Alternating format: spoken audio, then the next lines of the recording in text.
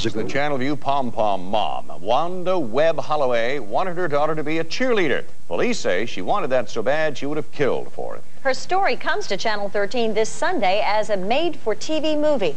But Holloway's alleged murder for hire isn't the first time a Houston crime has gone Hollywood. Our Alvin Van Black tonight takes a look at murders, mysteries, and movies. There is little doubt that the most famous movie made about murders here is Murder in Texas.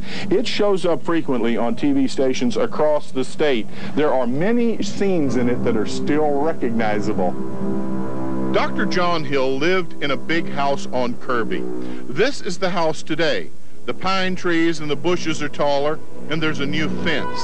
The famous music room is still there. It's the actual scene. Murder in Texas, the amazing story of the mysterious death of socialite Joan Robinson Hill, and the doctor's alleged murder confession of that deed to the second Mrs. Hill, Ann Kurth, wound up in her book called Prescription Murder. It was made into a TV movie as the famous Murder in Texas. Tommy Thompson's blockbuster number one selling book about the incidents was called Blood and Money. It had everything any book could want murder, passion, and the very rich in Texas. It was nearly a dozen years ago when Vicki Daniels was arrested in Liberty. It's a little town just to the east of Houston. She was charged with the murder of her husband. He was the Speaker of the Texas House. All I can tell you is that Price Daniels Jr. is deceased. His body's on the way to Ben Taub at this time to perform an autopsy. He'd been shot in the face with a 22 caliber rifle. Vicki Daniel remains sedated and under a doctor's care at the local hospital. Daniels, can you tell us what... No comments. Channel 13 reporter Elma Barrera covered this famous trial. Her testimony consisted of a tearful account of the night of the shooting and long, drawn-out details of four years with Price Jr. The shooting of the former Speaker of the Texas House, son of a former governor of Texas, Price Daniel Sr., made national news.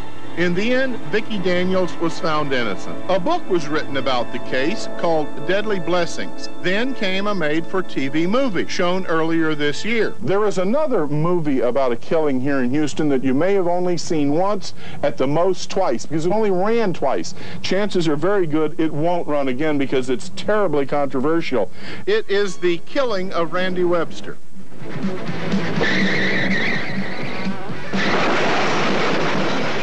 It's the story about the theft of a van, of a police chase, and of throw-down gun. I told Chief Dunn at the time that I felt certain that the gun was planted on him. There have been a number of crimes that have occurred here in the Houston area that people have asked, why didn't they make a movie about that? We'll tell you about some of those tomorrow. I'm Alvin Van Black, 13 Eyewitness News.